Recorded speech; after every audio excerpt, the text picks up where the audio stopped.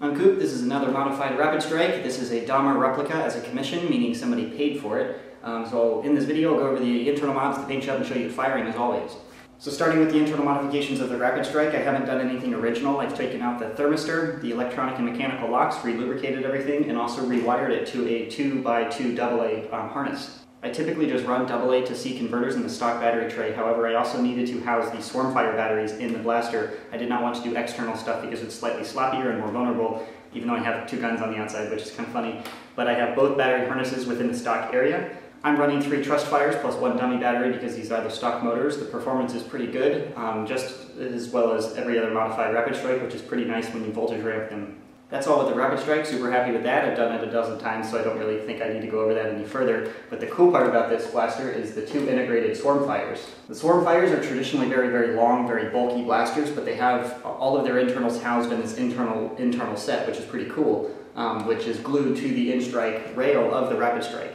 So this is not actually glued to the shell itself, which makes it appear cleaner, and if you need to take it off for maintenance or whatever, it's very easy. Um, and it's also uh, solder welded, JB welded, and super glued to the um, N-Strike rail, so it's pretty stable. And I also have two bolts in the back here controlling the tail ring, just in case a force hits it in the back so it doesn't lever action off and snap. So the integration is very stable. This is the same method I used in the last Dahmer, which is why I'm sort of flowing through this video. It is a replica, so much of the uh, modification process is identical.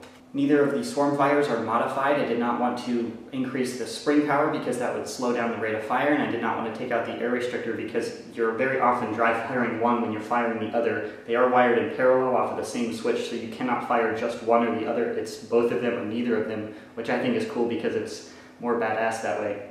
However, that means you could have one loaded and one not. So if you take out the air restrictor and you're constantly dry firing a Springer, you could break the plunger tube or other internals, which would not be cool. So leaving in the air restrictor protects the blaster.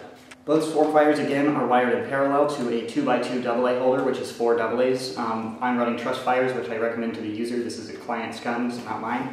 Um, and it's also housed next to the Rapid Strike. It is two separate circuits, so you can fire this one and the Rapid Strike independently. The switch for the Swarmfires is in the same location as the original Dahmer, which is located here. This is a momentary switch I picked up from Radio Shack, which is screwed into the shell, so it's very stable. Um, it's off in the default position, and then once you touch it, it turns on and then it turns off right when you take your finger off. That's instead of a toggle switch, a momentary switch is ideal because you don't want to have it toggled on, you drop the gun and it's just firing. In sentry mode, I guess that would be pretty cool, but that might lead to errors if you accidentally turn it on when you're not trying to fire. That's it with modifications. If you've noticed this paint job is very similar to a previous blaster, it's because it's the same paint job. It's actually the same client as the person who paid for the Rapid Strike Strong Arm integration, which just shipped out today.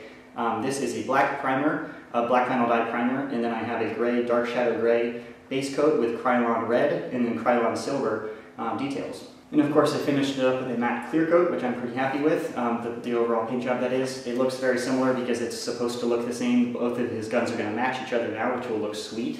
And up here is a flashlight attachment. I have a tutorial on how to make one of these. It's just an N-Strike clip with a zip-tied flashlight um, for tacticalness or whatever, and that just clips onto the rail so you can turn it on and then see where you're shooting people, I guess. So yep, now I'll show you blaster firing.